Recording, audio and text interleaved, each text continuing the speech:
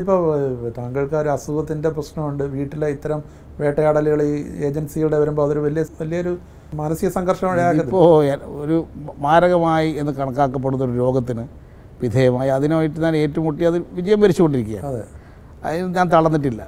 ചിലർക്ക് അങ്ങനെ അസുഖം എന്ന് പറഞ്ഞാൽ തന്നെ തളർന്നു പോകും പിന്നെ തീർച്ചയായിട്ടും. അത്ര അത്തരം സൂചനകൾ എനിക്ക് തന്നിരുന്നു ഡോക്ടർമാർ തന്നെ. പക്ഷേ ഞാൻ ആ കാര്യത്തിൽ എന്നെ തളർത്താൻ സാധിച്ചില്ല. ഇപ്പോഴെന്താ ചെയ്യുന്നത്? മകനെ പിടിച്ച് ജയിലിൽ വെക്കുക.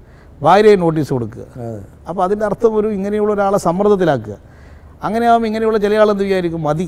ഇതൊക്കെ നിർത്തിപ്പോയി കളിയാം. എന്നുള്ള ചിന്ത ഉണ്ടാക്കാൻ വേണ്ടിയുള്ള തന്ത്രത്തിന്റെ ഭാഗമാണ് അതിന് വഴങ്ങില്ല. പല സ്റ്റേറ്റിലും അങ്ങനെ പ്രയോഗിച്ചിട്ടുണ്ട്. അതൊക്കെ പല സ്ഥലത്തും വിജയിച്ചിട്ടുണ്ടാകാം. ഞാൻ മരിക്കുന്നവരെ കമ്മ്യൂണിസ്റ്റുകാരനായിട്ട് നിൽക്കും. ഇങ്ങനെയുള്ള സംവിധാനം വഴിയൊന്നും കീഴ്പ്പെടുത്താൻ പോകുന്നില്ല. എന്നെ കൊല്ലാൻ പലപ്പോഴും ശ്രമിച്ചിട്ടില്ല? ആർ എസ് എസ്സുകാർ? സാധിച്ചോ?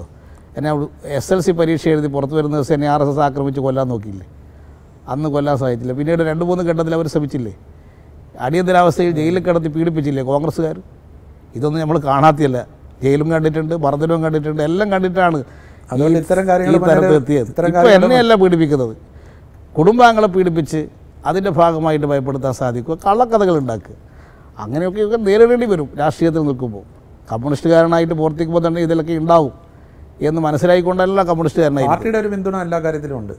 പാർട്ടി ഇക്കാര്യത്തിൽ പിന്തുണ നൽകുന്നതുകൊണ്ടാണല്ലോ ഞാനിപ്പോൾ പാർട്ടി പോളിറ്റ് ബ്യൂറോ അംഗമായിട്ട് തുടരുന്നത്. മൊത്തത്തിൽ ഇത്തരം കാര്യങ്ങളിലും പാർട്ടിക്കകത്ത് ഇത് സംബന്ധിച്ച് ഒരു പ്രശ്നം ആരും ഉന്നയിച്ചിട്ടില്ല അത് സ്വാഭാവികമായി കള്ളക്കഥ ആണെന്ന് എല്ലാവർക്കും അറിയാമല്ലോ മുഖ്യമന്ത്രിക്കെതിരായിട്ട് എന്തെല്ലാം കഥയാണ് പ്രചരിപ്പിക്കുന്നത്.